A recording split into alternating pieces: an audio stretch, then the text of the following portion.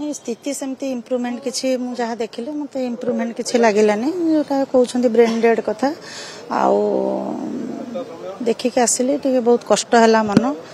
ଆ, ଗୋଟେ ଆ, ଭଗବାନ କରନ୍ତୁ ସେ ଯଦି ଉପରବାଲାଙ୍କ ହାତରେ ଏବେ ଆମେ ଭାବିବା ଯଦି ସେ ଚାହିଁବେ ଯଦି କିଛି ମିରାକିଲ୍ ହେଇପାରେ ଯଦି ସେ ସର୍ଭାଇଭ୍ କରିପାରନ୍ତି। ଆ, ଆମେ ଠାକୁରଙ୍କୁ ଡାକିବା ଛଡ଼ା ଆମର ଅବିକା ଆଉ କିଛି ଆମେ କରିପାରିବା ନାହିଁ। ସେ ଈଶ୍ୱରଙ୍କୁ ଆମେ ସମସ୍ତେ ପ୍ରେୟାର କରିବା କେମିତି ସେ ସୁସ୍ଥ ହେଇଯାଆନ୍ତୁ ଏବଂ ତାଙ୍କ ଭଳି ଲୋକ ରାଜନୀତିର ଗୋଟେ ପ୍ରବୀଣ ରାଜନୀତିଜ୍ଞ ଭାବରେ ସେ ତାଙ୍କର ଯୋଉ ନାଁ କରିଛନ୍ତି ନିଶ୍ଚିତ ଭାବରେ ସମସ୍ତ ଓଡ଼ିଶାବାସୀଙ୍କର ସେ ଅତି ପ୍ରିୟ ଥିଲେ ଏବଂ ବିଶେଷ ଭାବରେ ପାରାଦୀପ ନିର୍ବାଚନ ଭଳି ଆମର ଜଗତସିଂହପୁର ଜିଲ୍ଲା ପାଇଁ ତେଣୁ ମୋତେ କ'ଣ କହିବି ଆଉ ତାଙ୍କ ବିଷୟରେ। ନିଶ୍ଚିତ ସମସ୍ତଙ୍କୁ ସେ ଭଲ ପାଉଥିଲେ।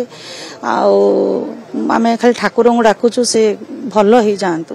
ଯଦି ପ୍ର- ପ୍ରଭୁ ଯଦି କିଛି ମିରାକିଲ୍ କରନ୍ତି ନିଶ୍ଚିତ ଭାବରେ ସେ ଭଲ ହେଇଯିବେ ଏବଂ ଆମେ ବି ସେମିତି ଚାହିଁବୁ।